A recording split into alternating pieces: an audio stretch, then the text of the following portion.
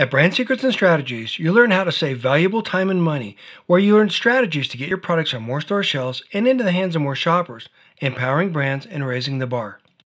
Hi, Charlie. Thanks for coming on today. Can you please start by telling us a little bit about yourself and your journey to where you're at today? Yeah, no worries. Nice to uh, nice to meet you, Dan. Um, it's an absolute pleasure to be on. So, uh, as you can tell from my accent, I'm from the UK.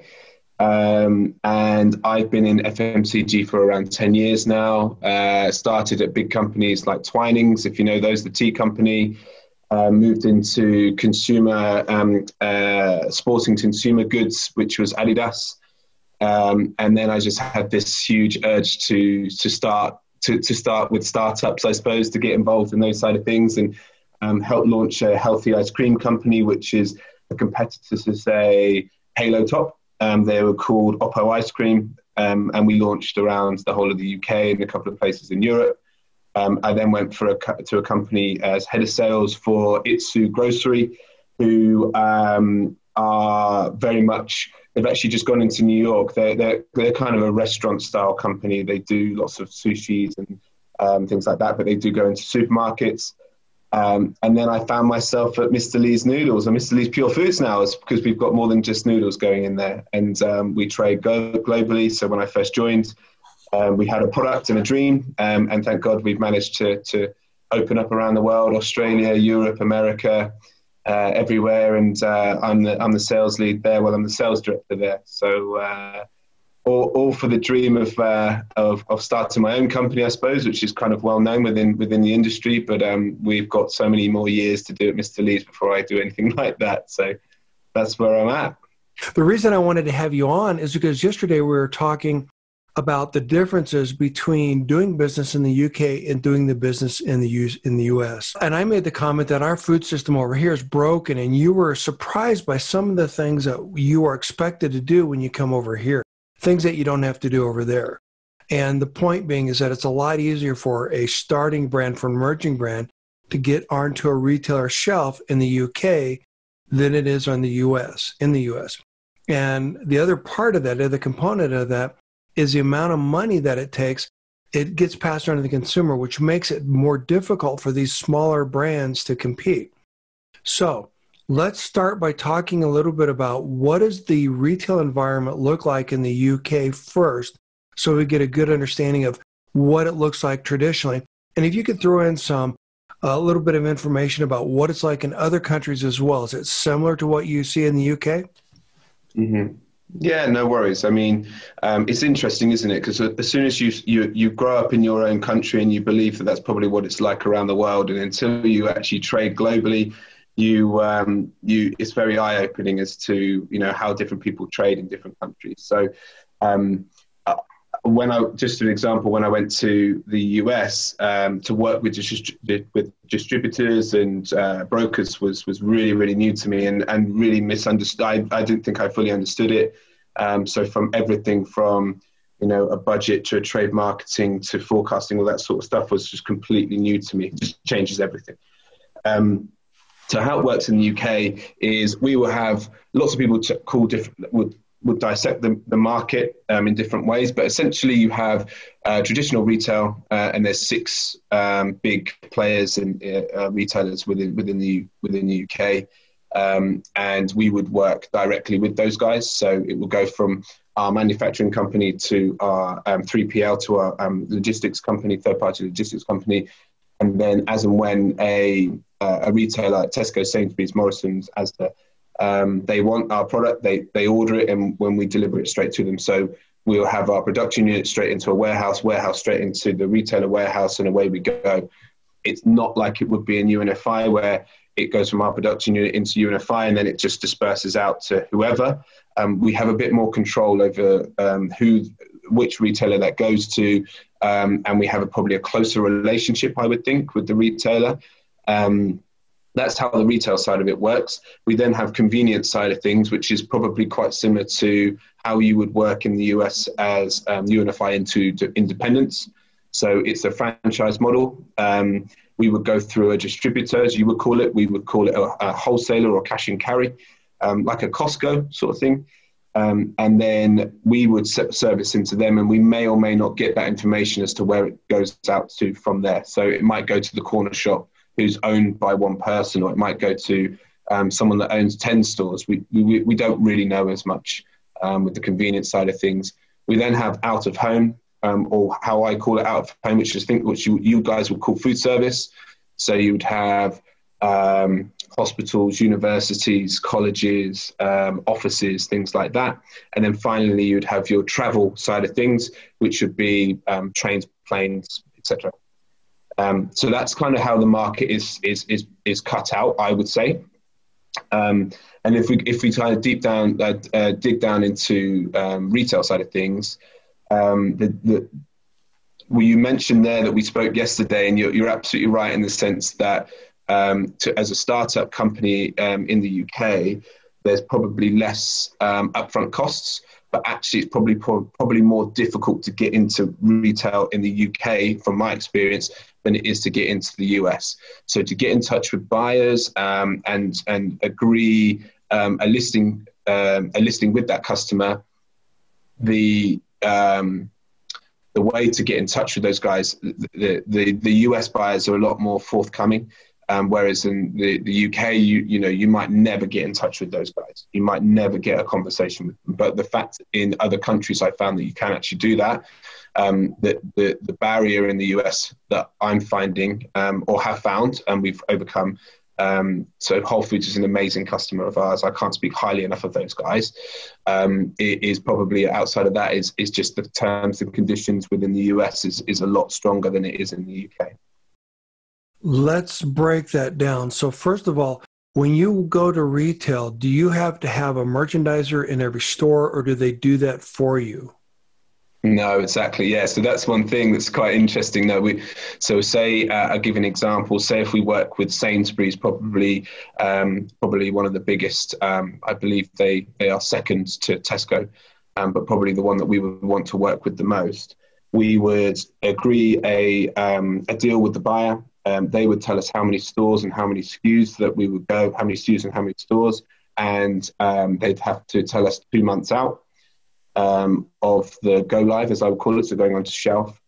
Um, we would then be able that that that process then would be taking place, and what would happen is we would um, uh, they would order from us, we would deliver it into their warehouse, and essentially within very very basically that's all we need to do it then goes into their warehouse, it gets distributed out into their stores on the planogram that they have, which is very, very strict. So, um, in certain places, I know in America, things move around, but the, the planogram is is as is as it will show um, on the on the system um, and then, and then it goes on there. And and essentially, they have stock management company, um, uh, stock management part of their business, which would say, you know, whether that's the rate of sale, and this is the the supply, um, this is the week's cover that we have, and this is how much we need to order from you guys. So, in in in a in a long-winded way, um, we don't need merchandisers, but actually, the smarter or the most um, the more um, uh, experienced pe- uh, sales guys would know that we actually have to do some form of um, we call it field sales, but yeah, merchandising to make sure that it's on shelf to start with. So you you would like to think that it's going to be on all shelves, but um, you you can't guarantee that. Do you have any control or any say, or or can you make recommendations on the schematic on the planogram? Uh, we have we we certainly don't have a say. Um, the way that you pitch, um, sometimes uh, you you can influence that, I suppose, but actually it's completely their decision. Um, it used to be in the old days that you can actually pay for certain certain parts of this of the uh, of the planogram. Um, you can't really do that as much anymore. Um, so what they would do is they would tier it by uh, good, better, best, um, and you'll find if you come to the UK, the most expensive product is always an eyeline, um, which I don't think is too dissimilar to America. Well, but how do you, when you present a product, if I am you and I'm going to a UK retailer for the first time, then how do I do that? What's involved? Do I just basically hand a deal sheet to them or do I have any, is there any relationship, any sort of a partnership between you and the retailer? Can you offer information, insights, etc.? So the very, very simply put, I get asked this question a lot in the UK actually. How do you get in touch with buyers? Full stop. You know, I, I do a lot of talks uh, in the UK around this. And, um, and really, if you're a big company, you'll have an existing relationship. That's just the way it is. But if we're talking startups like we are, um, you've got to be really creative. You know, I've heard so so traditionally, you, you, know, if it was done by a traditional route, it would be going straight to their website. You want to become a new supplier, fill this form out, goes to the relevant buyer. But I think we all know that that's um, not that's not everything you can do. And also, a buyer would probably want to see a little bit more energy from you guys because actually, you know, a startup is built on mainly energy, really. You know, a bit of bit of funding, a lot of energy, and a lot of passion, and um, and so if I was a buyer and I have a few buyers that are, that, that are my friends, they would say that you know nine times out of ten it's the person pushing it, it's the brand it's the, it's the people behind the brand that actually push that sort of stuff. So if you were to say your first impression is just going through a website and then hoping hey you know just open up the doors here we go it doesn't really work like that i suppose. I very rarely have i heard that. Um, so i use things like linkedin quite a lot. Um, I will speak to as many of the buyers or people that I think are the right buyers because I, you know, you never know which one is the right buyer to start with. Um, and you go on LinkedIn and you speak to them on there. Um, I talked to you yesterday about we have a, a, a, a um, community called the Young Foodies. Young Foodies are a, um, a collective of brands, a community of brands, smaller brands like myself, uh, Mr. Lee's. We're, we're, probably a bit bigger now, actually, which is um, I don't know if that's good or bad to say, but um, we have lots of sort of startup brands that would speak to each other and say, "Hey, you know, this is the right buyer, or this might be the person you want to speak to, or whatever." And it's uh, it's really common. Um, just the way you know whether whether it should or shouldn't happen. It, um, it's nothing illegal. It's just something that um, does happen in in the UK. Um, trade shows um, quite important. Uh, so they're the ways that you would get in touch with the buyer initially. Um, normally, uh, and this has seemed to be quite common in the US, you would just send samples and they would say, We'll be in touch if we like the samples. Um, we try to in the UK, we will send samples, but we'll try to book in a meeting with them directly with those guys for an hour and present, you know, the brands, the story, the products, the, um, the marketing um, uh, plans for the year. And then we may or may not, I don't usually do the commercials at the end. I would say, I would talk about the, um, you call it SRP, but RRP, um, the consumer price. Um, and then we would ask for, you know, what's your margin expectations? Um, when you're looking to launch, how many how many SKUs do you think? And it's all very much of an open conversation. Never have I. I that's not true. Once I think it was in the UK have I heard someone say to me that someone has said to me it was the ice cream company I was working for and they said, "Yep, two SKUs, 400 stores, probably launch in four months' time." Doesn't that's so unheard of. Um, so so it, it is very much a, a, staged process of getting in touch with them, whether it be LinkedIn or however you can. Maybe a small conversation over the phone, nine times out of ten, it's on e- on email. You then go and have a meeting with them. You try the product. You give them the brand story, etc., etc. And then from that point on, you're kind of going into negotiations, not only of price, but um, how many stores, how many SKUs, when that launches, etc. Yeah, in this country, obviously, it's very different. I'm going to ruffle a lot of feathers on this episode, but that's okay because you know that's what we're here for. Actually, no. The reason that that I was so intrigued by what you were saying, and thank you for going through all that, is the way that we do things here is so overcomplicated. And I made the comment to you that I'm working with a brand that has an innovative energy bar, and she's all in at 80 cents. And for her to make any money because of all the layers of cost and inefficiency in our system, she has to sell that bar to the customer for $3.99 to give everyone yeah. their margin. And to me, that's insane. Not only does it make it unbelievably difficult for her to get her product on the store shelf, but more importantly, that cost gets passed on to the, to the consumer.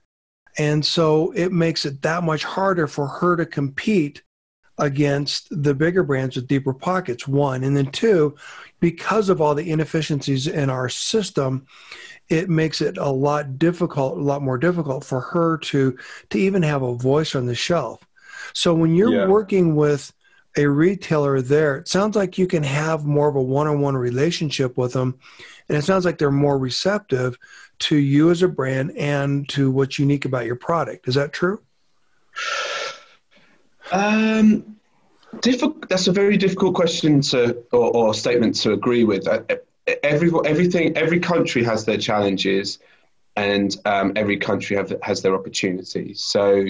Um, if I'm thinking about it from my experience with Mr. Lee's and, and trading globally, you know, we were, literally went from nothing to um, Australia, set up the business out there, set, and set up the relationships out there.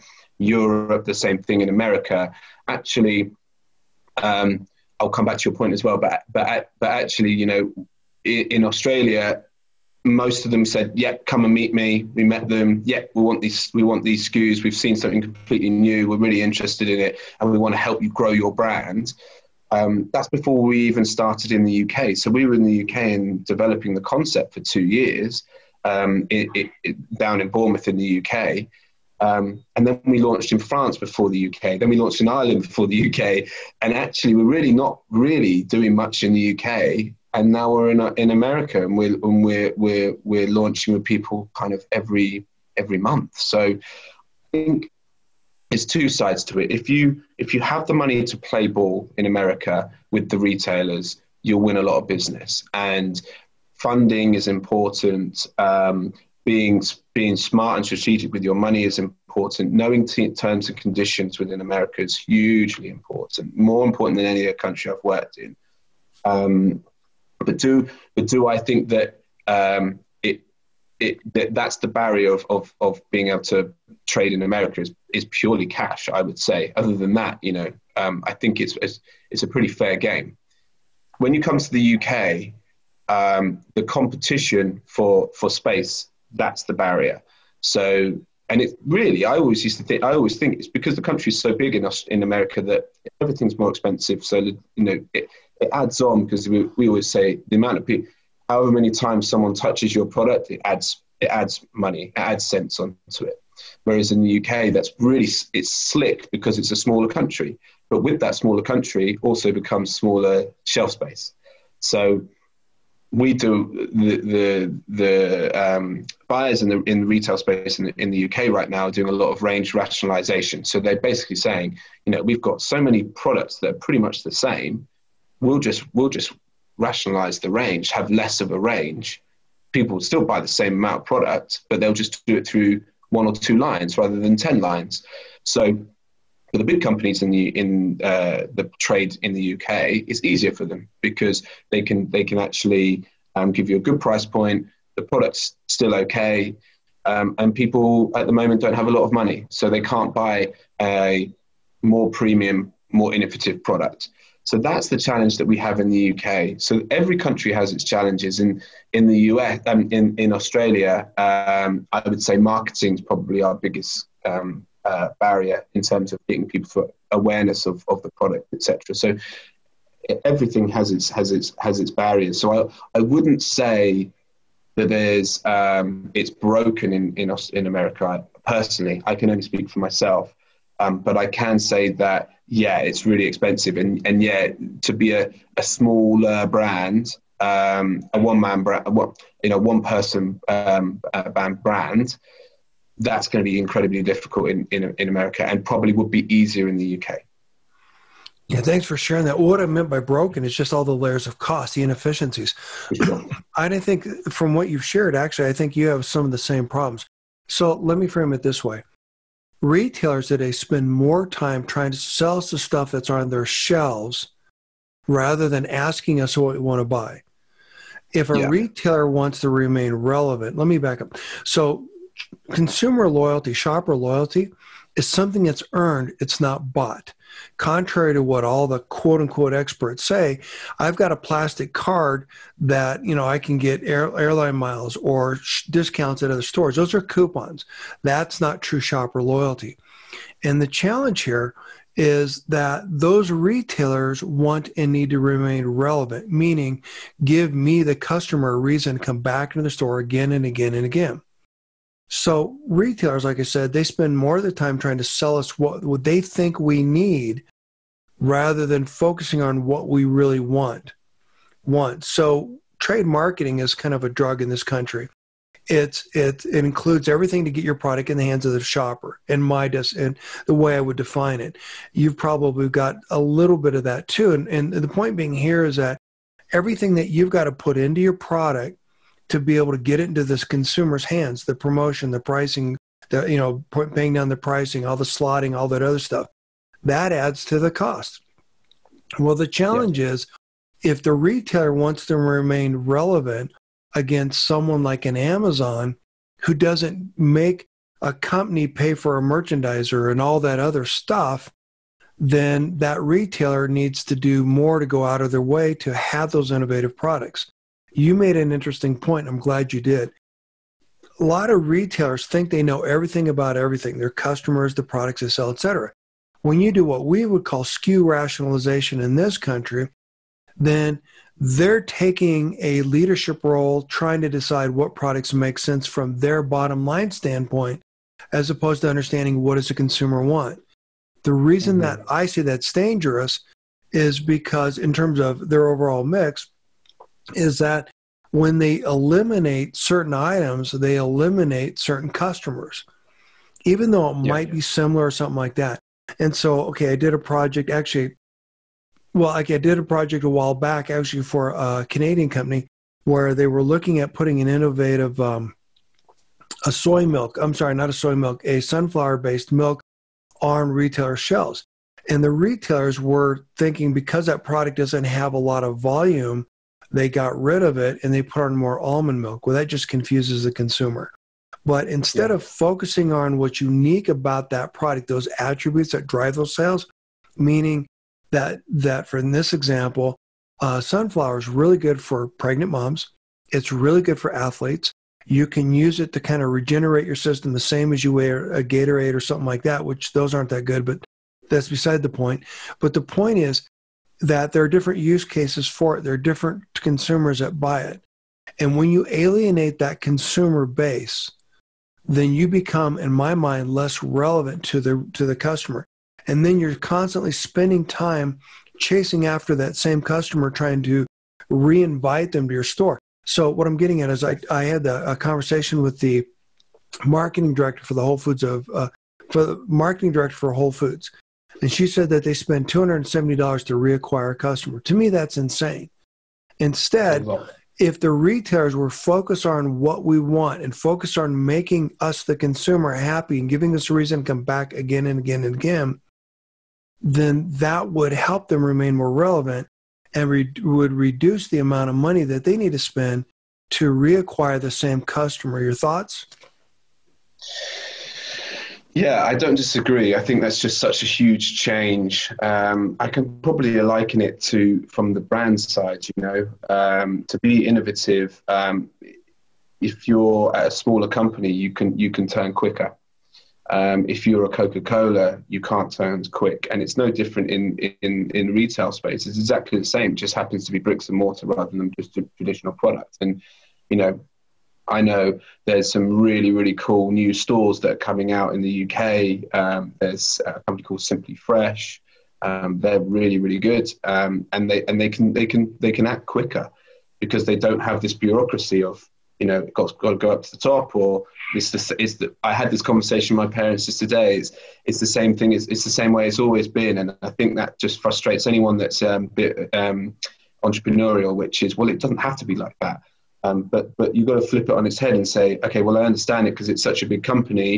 Um, you know, whoever it may be, uh, Whole Foods, right to Walmart. You know that it's the same in Sainsbury's. People try really hard to be um, forward-thinking, innovative, be able to spin on um, uh, spin on a, on a tenpence, tenpence. Um, but it's uh, it's really difficult for a big company. So, you know, it, it, I'll give you an example. In the, in the UK, we used to have um, what you call slotting fees. We call them uh, listing fees. Here, it's the same thing. Um, and what that did is it made it very, very difficult for smaller companies to actually play ball with these guys. So, you know, a big company say, well, um, you can either have that small company that no one knows, or we'll give you an extra amount, amount of money to to, to, to be on that shelf. That got eradicated, which now means that okay, we have a better, you know, smaller brands have a better chance to, to, to work with those guys, and I think that's probably something that could be useful in in, in the US. So um, you're absolutely right. I think um, the US is different in that respect, and it makes it the, the, the, barrier to entry for a smaller brand is, is far higher because before you've even started, you've got this big bill of however much it is for a slotting fee or um, uh, um, adding, uh, um, giving a new um, a free case in. Um, that would be a really useful thing to maybe review. Um, but it, yeah, incredibly difficult to do to start with, and it only takes one to do it, and then the rest of them do it. Well, I wish that would that simple. But again, it's it's part of that addictive. It's that drug. Let me back up a little bit. So when I was talking about SKU rationalization, uh, there's a little retailer in this country, maybe you've heard of them, called Walmart. And many years mm-hmm. ago, they did that, and they got rid of the every brand, with the exception of the top two brands in their private label. It was the greatest gift to Kmart. I mean, to uh, Target because yeah. customers wanted specific products and they couldn't find it at Walmart, then they went to Target. And the point mm-hmm. being that instead of focusing on the product, the margin, all that other, instead of focusing on the margin and, and the amount of money that they should be able to get from the manufacturer, like you were saying, instead, let's focus on what does a consumer really want in your store? How do they buy? Why do they buy what they buy? When they buy, what do they buy? what are the other products they buy with it? So to your point, slotting, I think slotting is, is a horrible thing. Uh, to me, it doesn't make sense. If you are in other businesses, they're not paying slotting to put a screwdriver on the shelf, etc. Maybe some retailers are because that's part of the model. And I think that additional cost makes it more difficult for smaller brands to survive. But if you think about it in this country, if I walk by a can and knock it off the shelf and it gets damaged, well, that's a guaranteed sell to that retailer. They're not losing any money. Everything that they sell is guaranteed. And the point being is that instead of paying slotting and all those other fees, if they just focus on the margin that they would get from the product, or better yet, let's focus on the market basket. And this is where we're really getting to. So when you're talking about an organic ice cream or something innovative like that, gluten free, whatever it is, then when you're working with a retailer and saying, hey, saying, hey, we, you know, nice guy, got a cool T-shirt, great slogan, all that other stuff. We got a really cool package. Instead of saying, here's what I can offer you in terms of slotting and fees and or listing fees, whatever, or um, you know, margins, etc. Here's a unique customer that my brand attracts and I'm going to leverage my brand, the strength of my brand, the consumer that buys my product, to drive them into your store. Oh, and by the way, when they're in your store, they're going to buy a lot of the other things that you care about, the other super premium items. You made the comment that uh, people don't have a lot of money to spend on products, and I understand. But conversely, the reality is, is that if you buy the products that help sustain you, satiate you, you're actually spending less money. So I use this example a lot, Charlie, where if I go in and I eat the, the generic bread, I'm hungry almost before I finish eating it. If I eat the best mainstream bread, I may be satiated for three or four hours.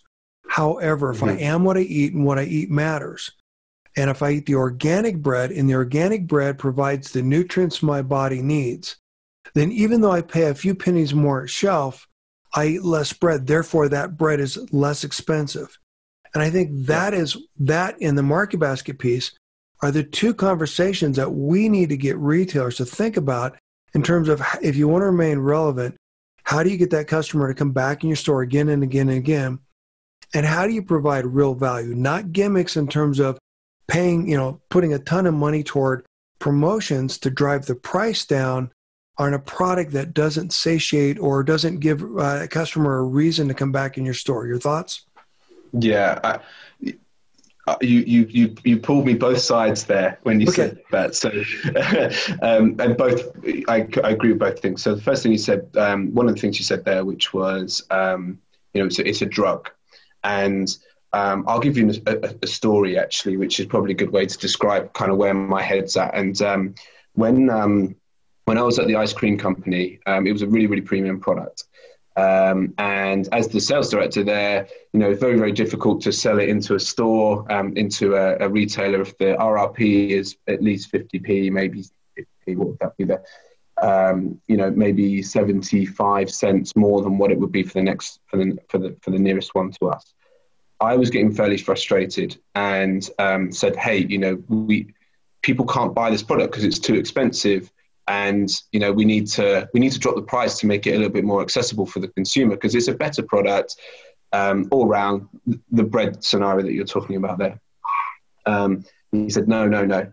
So we kept it at the same price and we weren't really getting into many retailers. Now one day we went into um, and this is the guy that said no we want to keep it premium. We don't want to promote it that much. Um, you know it's it's worth what it's worth and I'm thinking, yeah, no, you're right. It is, you know, you get what you pay for. Absolutely, completely get that. And that's what you're saying there with the bread side of things is you get what you pay for. If you buy something good, you put it in your body. I'm a huge believer that f- food is kind of medicine, really. I mean, I'm a sports person. I'm big into my into my um, into my food and into my nutrition. So I get it. We then go off to go for have lunch together, and we go to the retailer with the Sainsbury's that I was talking to you about. And there were two products side by side, and they weren't too dissimilar. And one was on promotion and one wasn't. He picked up one that wasn't on promotion, saw the one that was on promotion, put that down, and picked up the one that was on promotion and bought it. And I said, "Why did you do that?" He said, "It was cheaper." so, so no more than an hour ago, we were talking about his brand, you know, the brand that he owns. No promotions, got to be at the right price. Hey, I completely get it, and I I agree with you on that. But then we go, and his behaviour in shop is to go and buy the one that's on promotion. So I I know I, I absolutely get what you're saying. I, I always try and look at things from two points of view, which is wholeheartedly agree with you that retailers should be selling stuff that consumers want. Full stop. That's that's that's how the world goes round. Um, unfortunately, I think there's certain barriers to, to get products that p- consumers really want that they don't even know that are available because they can't get past the first hurdle because it's it's kind of pushed by um, companies that can afford to do that. So they might take, you know, they might strip out all the goodness in the product to make it a really cheap product to actually be able to buy to put it onto the shelves. I completely get that. Um, I just find it very very um, difficult to kind of get my head around how how that can change in America. Um, in in the UK, we have some really really cool products, some really nice products, um, from packaging to to how they taste and everything like that. But I work in that industry, and even sometimes I go there, and I know the guys that own these brands, and there's part of me that still say, yeah, but I'll go buy that because it's cheaper. And that and that that's me, the the person that's like the huge advocate of health of um, startup brands, of innovative brands, etc., etc. And nine times out of ten, I do try to to to you know back these guys, but actually, I'm a consumer as well. At the end of the day, you know, and sometimes you do just think, oh, that's slightly cheaper, or um, I don't see the difference between those two, so I'll just go with the cheaper one. Um, there's a really difficult one to kind of like get your head around, I think. Um, but I do think that education for consumers is is hugely important. And to be able to get that product that makes sense for them to, to buy which may be a little bit more is actually as expensive to market them to understand that. So it's a it's a whole kind of do you put your money into making the product as cheap as possible so people buy it at the price point? Or do you make it more expensive and you use half that profit to to educate the consumer to buy it the honest answer, and this is something I'm glad we're talking about. I think the biggest failing in our industry is is where, where you take a product and you give it to a retailer and you expect them to sell it and you expect to just sit back and, and collect the cash. That's not right. right. The selling never stops. And so to answer your question, the the way that we do this, the way we solve this problem is that we build a community of evangelists around our brand have our own tribe. And we leverage that tribe that that community to drive sales at shelf. So if you communicate the value of your product and i understand and i appreciate what that means and as a result i choose your product over the other product that's slightly cheaper maybe it's because of your mission maybe it's because of how you're aligned with things that are important to me etc or you're organic the other one's not whatever not you know not getting into the nasties as you got, I love the way you guys say that. The ingredients and aren't, aren't quality. But the point is, if we can establish the true value of the products that we sell and we can leverage that at retail, that's the win. Now, the other thing is that a lot of unfortunately short-sighted retailers and et cetera I'm thinking about is that it's the premium products that are driving the profits in the store. If I'm a big brand with deep pockets, I can buy shelf space and I can buy velocity. A velocity meaning if I go to, if I give you a canned ranking report, look, I'm number one on the shelf. Wow, aren't you impressed? No, because what that means or what that could mean is that I'm pulling a lot of dollars profit out of the category. And that the only reason the customer comes in to buy my product is because of the price. They don't care about your store. They're not loyal to your to the other products you sell. And so those are some of the conversations we need to have. So going back to where we were, if you're a super premium product and you don't promote very often, then you're providing more profit to the retailer. And the term for that is contribution. And contribution is what they take to the bank. Mm-hmm. And then mm-hmm. if I can take your contribution and add it to the contribution of all the other products they sell, that you know that customer buys when they buy your product, that means your your customer is a lot more valuable. And yeah, so instead sure. of chasing after the margin, the price, etc., to answer your question, we need to have a community that understands the true value of our product and respects and appreciates who we are, aligns with us, will go out of the way to spend their money on our product. Then yep. we need to drive that unique customer into the store. But the point is that we need to educate the retailer as to why that's better for them than getting sucked into that that the flywheel or whatever you want to call it, or the, you know what they're doing, the hamster wheel, where they're just they're chasing after the price, they're chasing after the products that sell the most, they're chasing after the greatest margin. And yeah, that's when sure. I say retail's broken, that's what we need to fix. We need to make it easier for smaller, innovative brands to get on the shelf because those are the ones, Charlie, that are driving sustainable sales across every category and across every channel. And by the way, I proved this you know, several years ago. I wrote a feature article for, for the 2016 Category Management Handbook, and that's on every single podcast, uh, podcast episode page. And the point was that organic products were driving sustainable sales across every single category, driving the growth, the profit. And you, when you remove that small sliver of organic, then every category would be flat or declining. Now, when we talk about plant based, gluten free, some of the other important attributes that consumers are looking for, very clean ingredients, etc., that's even more impactful.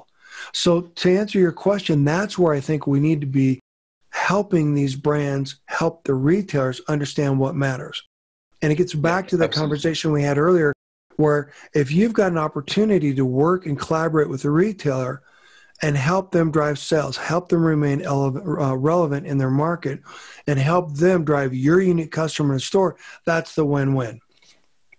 Yeah, absolutely, and I think that's the thing is, um, you know, some of the retailers that we work with around the world, the ones that so that's how we sell. We sell on, hey, look, we, we cash cash margin is higher. Like you will make, you will get more co- contribution, you'll get more profit by selling our product than you will do any other product. And in our industry, in our in our category, sorry, it's um it's really interesting because it's naturally a very um, uh, low priced product. That's what instant cup noodles are, and that's what you know porridges are. They're just as as cheap as possible. I don't care what's in there, and I'm not really sort of health conscious. So, from our point of view, the, uh, not a barrier, but a um, an opportunity for a buyer is, hey, look, you've got your um, your your nice um, consumer that doesn't really care too much about health, and that's your consumer. That's the that's the guys that come to your aisle. That's who buys your product. I completely get that. But then you do have this other customer that's never going to come past your aisle. So how by using us, profit higher, more new consumers coming in, you'll make more prof- profit each each time you sell, and you'll have a new customer going in there. So it won't cannibalize any other sales, and that's how we sell our product. Um, and some people around the world get that, and some people don't. And and I suppose the thing is, it's a, it's really interesting actually because we have been knocked back so many times in the UK for that. We have been lauded and praised for that in in the the in Australia. Um, they love, you know, all buyers, all consumers. It just worked so well there. And we've used that as a case study back to the UK, and they're still like, you know, mm, I, it's still a risk. It's still a risk. I'm going to be here for 18 months, two years in my role. Do I think I'm going to benefit from listing you, helping you grow it, and then straight and then afterwards I leave and someone else gets the benefit of me listing that product. Um, but then there's certain places in the US that I mean Whole Foods again I cannot speak highly enough of Whole Foods. I love my buyer so if she ever listens to this then I want them to know that okay. um, that they they completely get that and they and they you know they know that we're a, a, new proposition we bring in a new customer we bring in a better profit etc etc um, and we're really innovative and I think there's something around brand there's something around a product going in there but there's also something about a brand being listed over a product. So the overarching brand is okay, cool. So you've got four SKUs of uh, noodles. They're going to burn out. Naturally, they're going to burn out in you know a couple of years. Maybe people get bored. What have you got coming out next? And we have an NPD team. We have um, more innovation going into different categories. We've got um, a, a congee, which is like a rice porridge, Asian rice porridge that's going into Whole Foods. We've got snacking range coming out. We've got drinks range coming out. And so your point about creating a tribe, it's not a tribe for the product, it's a tribe for the brand. And once you've got the tribe for the brand, doesn't matter where you go in the store, you know, food to go front of store, food to go area, or in the snacking aisle or in the drinks aisle, people will say, Hey, I love that brand because I love the noodles or because I love the mission or I love, you know, whatever it is. So I completely agree with you. Um, and as maybe I was sounding um, a little bit. I'm just trying to play two sides of the fence here, but actually, as as as as someone that part owns Mr. Lee's as well and is the sales director, obviously, I wouldn't be at the company if I wasn't a part of the tribe. You know, I'm part of the tribe. Um, I can. I think that some some buyers are very um, forward-thinking, innovative, and they fit our values because we're forward-thinking and innovative. Um, so they get why we're saying it. They get that we're going to bring someone new in, and you're going to get better profit that's the that's why we are that's why we're in existence. Um, you know I, I, I, and so it's it's an it's it's a, it's a really interesting one and one that I've been battling for five or six years. I try to think about it from the buyers or the retailers point of view. I try to think from the from the um, suppliers point of view. I think that the really the internet's quite noisy um, and to get to create a tribe it used to be you'd be able to you know get some people on board through Instagram, but now people realize that as soon as you put hashtag ad in there, it loses all of its kind of gen, um, genuine uh, appeal. So then, so then I think people are trying to figure out now another way of getting the tribe and getting people to love your brand and and how is that and um, that's where I'm starting to try to understand it. You asked me five years ago, I'd say, you know, get some really um, forward-thinking in influencers. Um, give them your product, they'll they'll they'll um, sort of sell it to their to their crowd, and you and you do really well. And I've seen brands like oh, I don't know if they got that Huel. Huel, I think, is in America. Um, it's a B2C um, meal replacement company that have gone from you know they're, they're they're going from I don't know. I think they they grow like 100% each year for the last kind of five, six years. They're huge. And a lot of what they did was influencer campaigns. Um, and it worked well in that space of time, but things move on now. Um, so I think it's that's something that's really interesting for a smaller brand. Like, how do they get that tribe when it's so noisy right now? You made a comment. I answered that question in a second. You made a comment that I don't think a lot of people are aware of, and I'm glad you made it.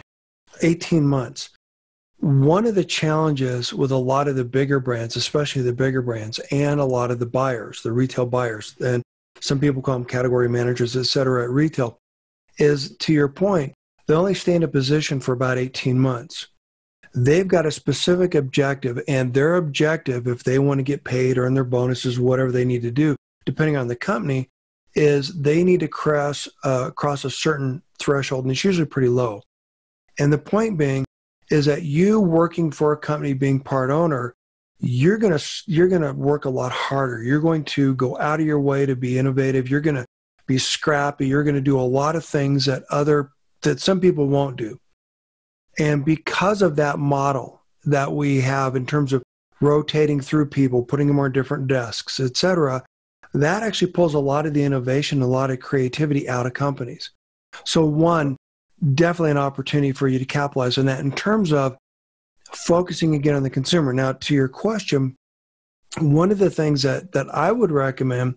I'm not a huge big fan of influencer marketing in the traditional sense. If you find the biggest name in the industry to buy your, you know, you know, go out and talk about your product, but micro influencers are even far more important. And mm-hmm. so you're a noodle. Well, name a college kid that doesn't live off ramen noodles or something like that. In this country, you'd be hard pressed to find one.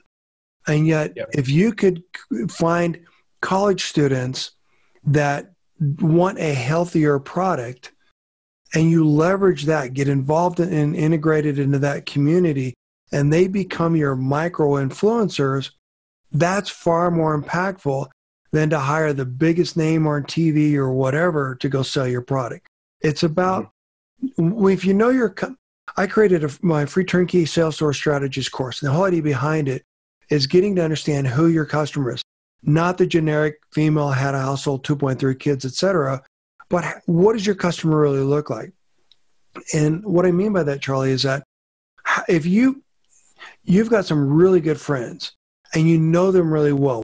What encourages them to make one decision over another decision? If you can understand that about your customer, why they buy your product, how they buy your product, how they celebrate it when they get it home, etc., getting back to the point that the selling never stops. And then you can leverage that in your marketing strategy. And so back to that sunflower product that I was, I was talking about before, we found those groups of expecting mothers of high performance athletes. And we got the product in their hands. We got them talking about it and they built awareness around it. And it was great. When you can leverage your customer at that level, that changes the conversation. And so even though we've got to trip over a lot of the issues within the industry, the buyer desk changing, et cetera, it still needs to be more about the customer. You said you had great success in, in Australia, which is cool in this country, there are a lot of people willing and able, I'm going to ruffle a lot of feathers, to write a check on your behalf to get your product on the shelf without understanding how that impacts the brand. So I am a firm believer that brands need to own their go to market strategy and leverage their brokers and other people that they work with, agencies, distributors, etc., to execute on their behalf. And the point being is that if you've got a central hub making decisions and everyone's in lockstep and everyone's working together and you're leveraging all the stuff we've talked about, your loyal tribe, that committed consumer, et cetera, and your message is consistent, that's how you win at shelf, any place. And then once you're able to do that, the next biggest challenge is how do you get in front of the retailer? And the way you get in front of the retailer is that you have your loyal community go into that store and say, Where is my Mr. Lee's? Or how can I get mm-hmm. that? Or why don't you sell that? Or can you order me a box or whatever? And eventually they start picking up on that. So when they're thinking about SKU rationalization, you know, you probably are not going to be the highest volume product on the shelf. So in that mindset, you deserve to be gone. But if people are begging for your product, hey, you're future proofing your brand. What are your thoughts? Yeah, I do. I, I agree. Um, the, it, I think it's always two two pronged attack, which is um, in terms of marketing. You know, we we do a lot of consumer marketing, so we want to make sure that people um, love our brand, and lots of the time, they you know we, we've got we've got a pretty good um, tribe in in the UK. Um, but then, you know, the, there's other things that coincide with that, which is, do, is there enough people out there to knock on the doors of these customers and say, um, on these retailers, sorry, and say, hey, you've got to list us. Hey, you've got to list us. And I think that takes a long time. So I do think that you've got to be knocking on the door as well um, at the same time and be saying to these buyers, hey, look, this is our tribe. This is what they're doing. This this is how we get in touch with them. This is how that's going to benefit you. Because the, the last thing is the most important thing to them. So how's it going to benefit me? It's going to hit your bonus and blah blah blah. So um, I completely agree with you. I think that we talk about building our tribe all the time, um, and but mainly we do that through uh, our beat, um, our um, direct to consumer model. So you then dilute it by going into the direct to consumer model.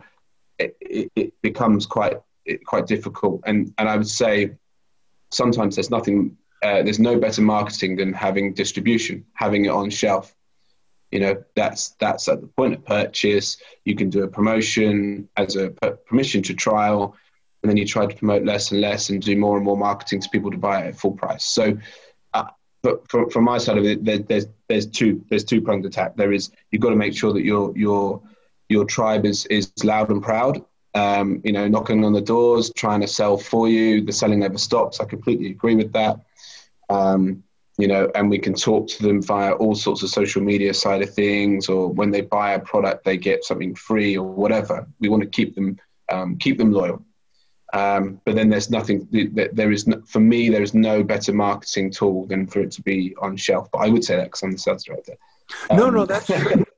Well, and you're absolutely I, I, right. And I'm not saying, you know, one or the other. You know, you've got to be everywhere your customer shops. And so you're absolutely correct. Yeah. And again, it goes back to selling is hard work. And it, it's not something that you get the, you know, a lot of people, unfortunately, they think that the product, the selling ends as soon as the truck picks it up off your loading dock. Not true. It extends till well after they take it home and share it with their friends.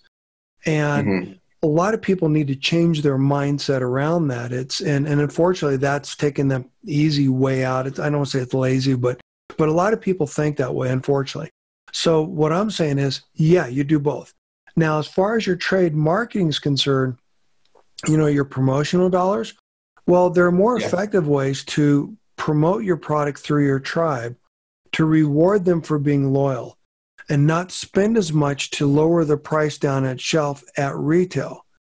And that is a more effective way to leverage your trade spend to invite new customers to try your store or your product, which is the only reason promotions exist anyhow, uh, yeah. ideally. Um, so yeah. that's that's where I would go with that. But um, let me go back to a couple of things that we were talking about earlier because I'm looking at the clock and I know we've been talking for about an hour now. Uh, one of the things that you were talking about getting on shelf and the things that really ruffled my feathers was we are talking about distribution and how you get the product on a shelf. Uh, and I'm not trying to pick on UNFI, but in the papers yesterday and all the the uh, email, um, bunch of the emails I get from newsletters and stuff, UNA UNFI announced record profits at mm-hmm. the same time that a lot of brands are going under and struggling. To me, that's just that's not good that to me is really frustrating because it says that we're not working together as a community. Again, we're not making it easier for these products to get on store shelves. And that's another area where I think we in this country need to fix it. So when you're talking about terms, you know, getting onto a store shelf, where you get on the store shelf, how you get your product into that store, that should all be part of that conversation. And unfortunately, a lot of retailers say you've got to use this distributor and you've got to use this broker or this company to promote your product in store demos etc i understand that from a cost standpoint. If i've got blinders on i'm not thinking about the total picture why that makes sense. But all those added layers of cost add up. I do not think and, I'll, and again this is this is the point i was trying to make yesterday is that distributors should be in the business of promoting your product. I think that that's not what they're designed to do. They're good at getting a product from your back warehouse into the store, period. Now, if you're promoting to independents that you don't have line of sight to, maybe that.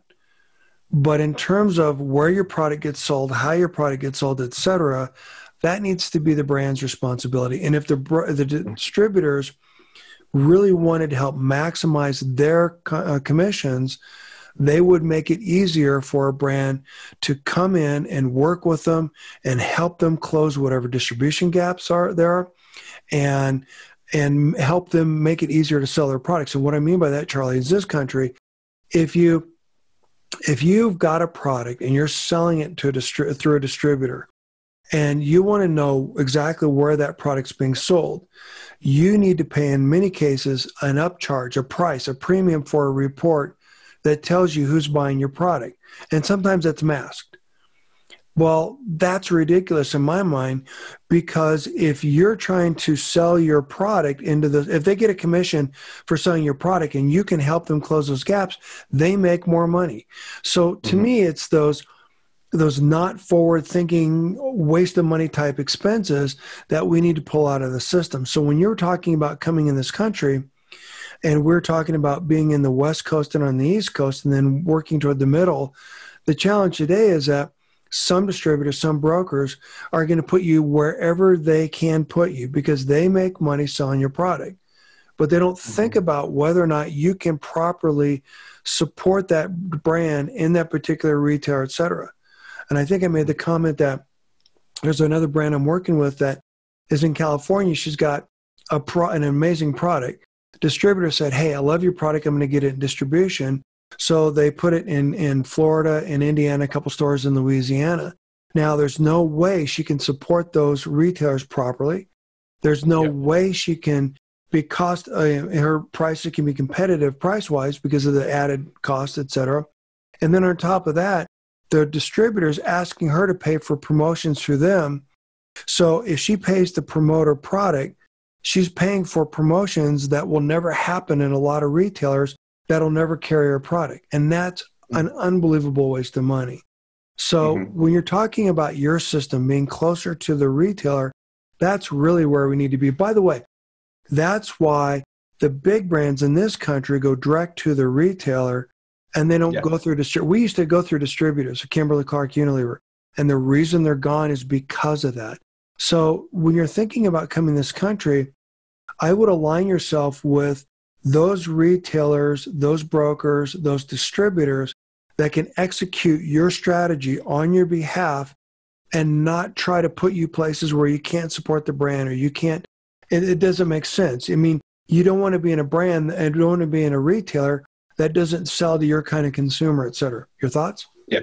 Yeah, no, completely agree. That it makes. I mean, it's it's almost like saying um, the type of consumer that you you sell to, the type of uh, distributor you sell to is important as well. Oh, yeah. It's got to be the right, got to be the right one. Um, I can only talk around how that works for uh, the UK, really, which is you know, we would work with the right distributor, um, the right wholesaler, we call them, because they would go into the right the right stores themselves, you know, and and and I, I'm I'm kind of old enough and experienced enough to know now that. Uh, although not too old, but um, that I could, you know, you, you, you can set, you, you, you find the right consumer, you, you find the right distributor, you find the right retailer to sell, and you'll be successful.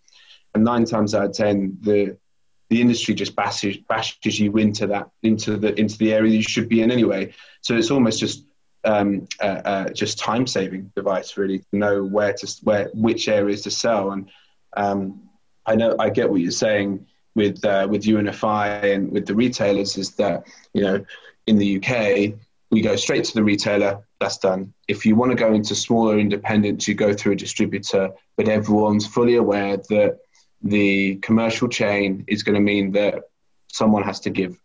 Um, and the commercial chain in the UK for that makes it very achievable for me as a brand to make money, the retailer to make money, and the distributor to make money. It's fine. Um, the, the, the issue is if that happened for a distributor going in um, to retailers in the UK, we would have the same situation as you guys have in America. We just don't have that, so we're quite lucky.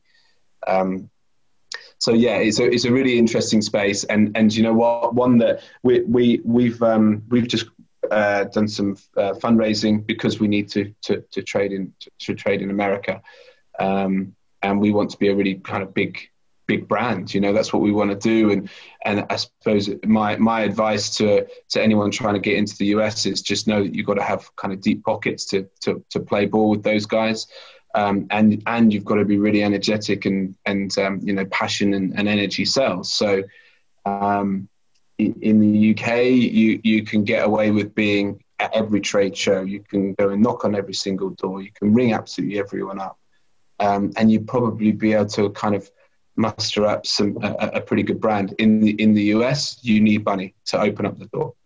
Um, and that's something that we, we weren't aware of at the start, and, and my, my, my word, we're, we're aware of it now by working with a couple of the retailers. It's tough. Well, and the other thing is, you know, if you listen to the, the people, and certainly in the natural channel, they're going to tell you you've got to get distribution in this retailer, and you've got to do this, and you've got to do it this way because this is the way we've always done it. And yeah. and I believe, Charlie, that your your go to market strategy should be every bit as creative as the ingredients in your package. Which is contrary sure. to the way a lot of people think of things. But what I'm getting at is if you've got that strategy and you understand who your customer base is, et cetera, then I certainly am a supporter and a huge fan of the independents.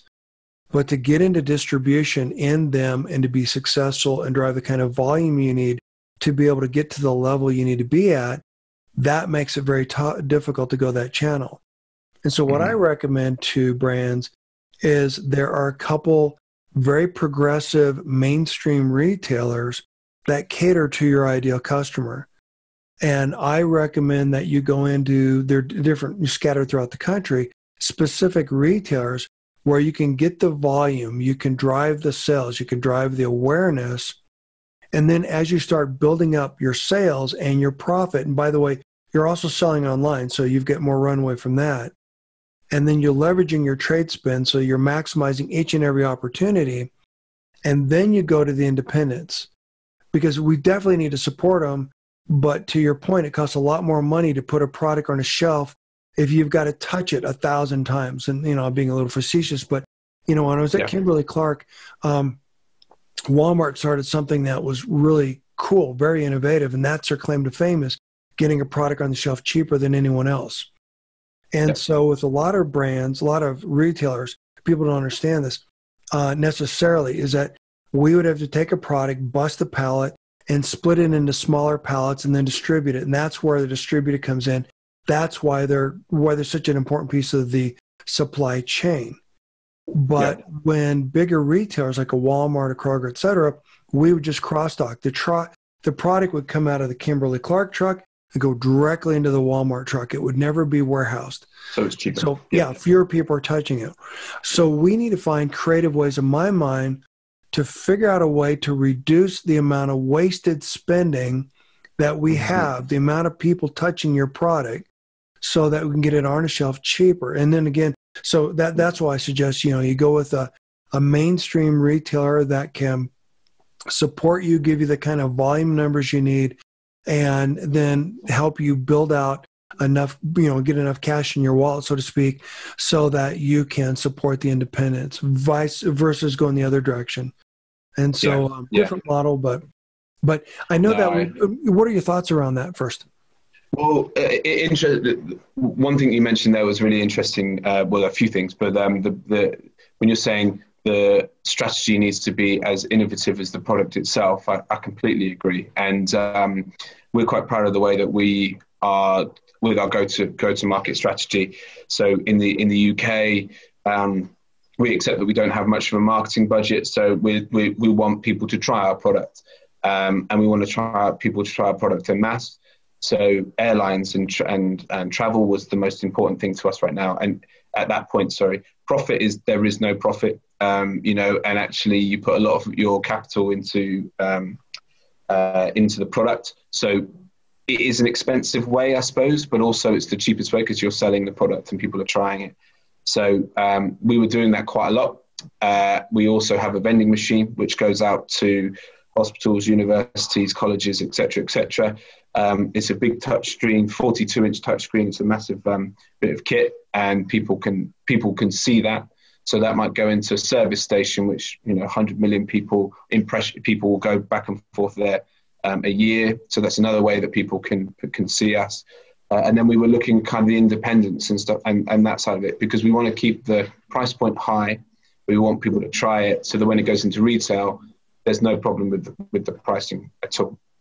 Um, so our, our, go-to-market strategy, I completely agree with you. You know, it needs to be um, in the right places at the right time, and the right places is if you're a premium product, it needs to be in a premium um, retailer at the right time, and then there will be a time for when you know you're in your country in, in America it's it's Walmart. In the in the UK it's probably something like uh, Tesco's or or Morrison's or something like that. Something that's a lot more mainstream. The price is going to be um, affected because it's so because it's such a big deal so um, yeah, I think I, I, completely agree with you. It's the, the, the go-to-market strategy for me in every country is different. So uh, we have France; um, they're all franchised, so you have to have someone to knock on every single door. So you accept it; it's a bit more expensive. Um, same in Ireland. Uh, UK is very cut and dry, and it goes on shelf and you just try and get it off shelf through trial and promotions, etc. Out in Australia, it's quite similar, and then the US, we're just learning now. You know that it's you're going through distributors, you're working with brokers, um, and you know the the way that you guys market it is is predominantly feels like it's it's online. You know, a lot of it's online.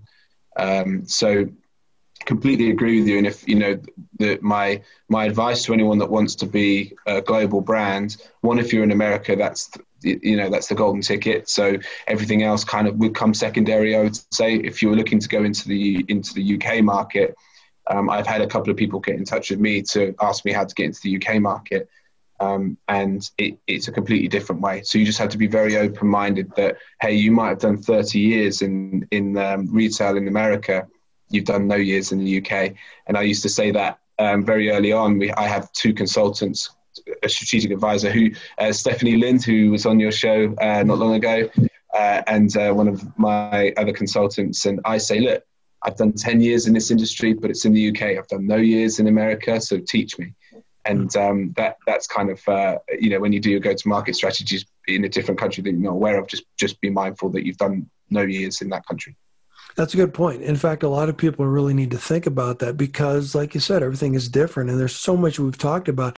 And and getting back to the strategy piece, I believe that your go-to-market strategy should be so robust that anyone could step in and run your brand for you on your behalf in your absence. And unfortunately, sure. a lot of brands aren't don't do that. And a lot of brands, unfortunately, in this country, adopt a cookie cutter strategy, and it's not the same. It's not going to work as well as if you had a clean, clear, precise, this is what we're going to do, this is how, you know, marching orders for your entire team, this is how we're going to get the product on the shelf, this is a consumer who sell to, all of that kind of stuff. And that takes a lot of work. So thank you for sharing that. Uh, I know that we're coming up on the hour. I wanted to mention that you and I are going to be doing a free webinar in a couple weeks. Yep. And the point being is we're going to be talking more about this and we're going to talk about more about how brands can leverage some of these strategies to get on shelf, not only in this country, but other countries as well. So, do you have any parting thoughts? Anything else you'd like to say? Do you have a bottleneck you'd like me to try to help solve? Um, no, I think I, I think from, from from my perspective, it's uh, um, it's really important. Uh, what I've learned in the UK, which I'm bringing over to the US, is um, it's important to, to have brand friends. Um, it's important to have industry friends to, to help you. Um, you, you, never, you never know everything. Um, so if I was uh, in the UK and I needed some help, I have a, a really good network. Um, and I can absolutely ask that question because things move on all the time and you just don't know. Um, you don't know what's going to come in in the future. I mean, for example, in the UK, Brexit, it's like uh, you know no one really knows what's going on there, and we're all kind of trying to work our, our way through it. Um, so sometimes experience isn't isn't what you need. You need someone that that kind of knows what they they think might happen in the future. Um, so now going into the into the US, it's nice to speak to yourself, and I've got kind of a few other people in um, in the US that I can speak to. So um, in terms of bottlenecks, they come thick and fast, um, and uh, and to have kind of a good network behind you in whatever country you're looking to, to trade in is really important. Well, and that's why I do what I do. That's what this this show's all about, and all the content that I put out. And you know, one of the things Stephanie brought out, we had a great conversation, as she was talking about how you can get paid to sample your product. What a concept! And the point mm-hmm. being is mm-hmm. that you could leverage food service to distribute your product, to build awareness and to have people discover your product, which I think is a great idea, a brilliant idea. And so, yeah, there are yeah. a lot of great strategies that we can talk about when we reconnect on the 16th. So, thank you so much, Charlie, for your time. I appreciate it. And I look forward That's to talking to you in a couple weeks again. Perfect. Great. Thanks, Dan. Good to chat. Thanks.